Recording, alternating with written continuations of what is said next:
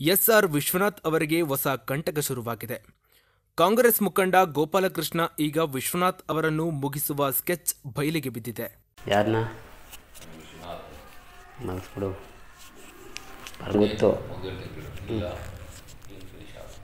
ಹೌದು.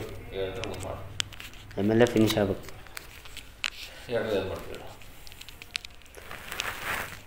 ಹ್ಞೂ ಫಿನಿಶ್ ಮಾಡೋಕ್ಕಮ್ಮ ಎಂಟ್ರ ಮಕ್ಳಿಗೆ ಕಟ್ಕೊಂಡಿದ್ದೀವಿ. ದುಡ್ಡಾಗಿ ಫಿನಿಶ್ ಮಾಡೋಣ ನೀನು ಅಣ್ಣ ಇವೆಲ್ಲ ಬಿಡೋಣ. ದುಡ್ಡು ಮಾಡಿ. ಮಾಡಿ.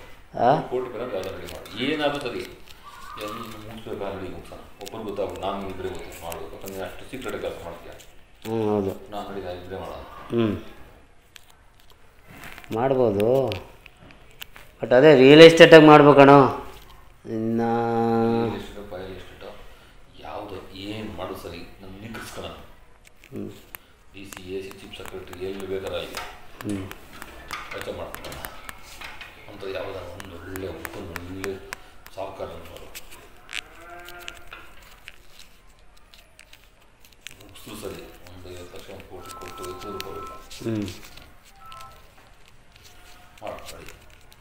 ನೂರು ಕೋಟಿ ಬೇಕು ನಾವು ಸ್ವಲ್ಪ ದಿವಸ ಇಲ್ಲಿ ಇದು ಮಾಡಿಬಿಡು.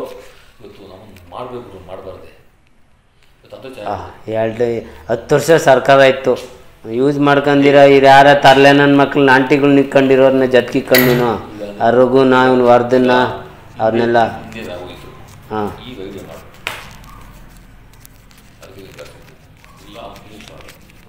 ಹ್ಞೂ ನೂರು ಕೋಟಿ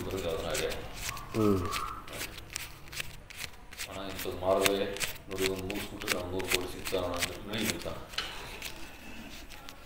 ಅದೇ ಒಂದೇ ಸಿಕ್ಕ ಕಡೆ ಸಿಕ್ಕಲ್ಲ ಒಂದು ಎರಡು ಮೂರು ಕಡೆ ಸಿಗ್ತವೆ. ಒಂದೇ ಕಡೆ ಸಿಗ್ಬೇಕಿಲ್ಲ ಒಂದು ಐಡಿಯಾ ಮಾಡಿ.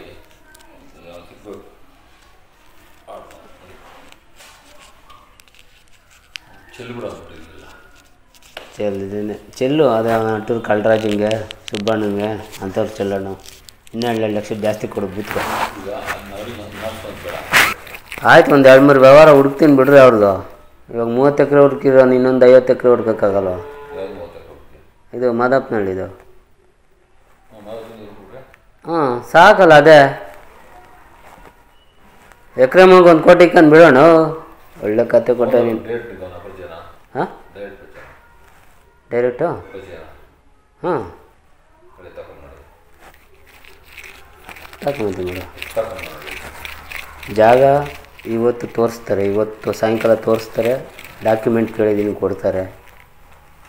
ಇನ್ನೆದಕ್ಕೆ ತಗೊಂಬರ್ತೀನಿ ಏನು ಮಾಡ್ತೀನಿ ಮಾಡಿ ಸಿಸಿಬಿ ಪೊಲೀಸರು ಈ ವಿಷಯದ ಕುರಿತು ಕಾರ್ಯಾಚರಣೆಗೆ ಮುಂದಾಗಿದ್ದಾರೆ.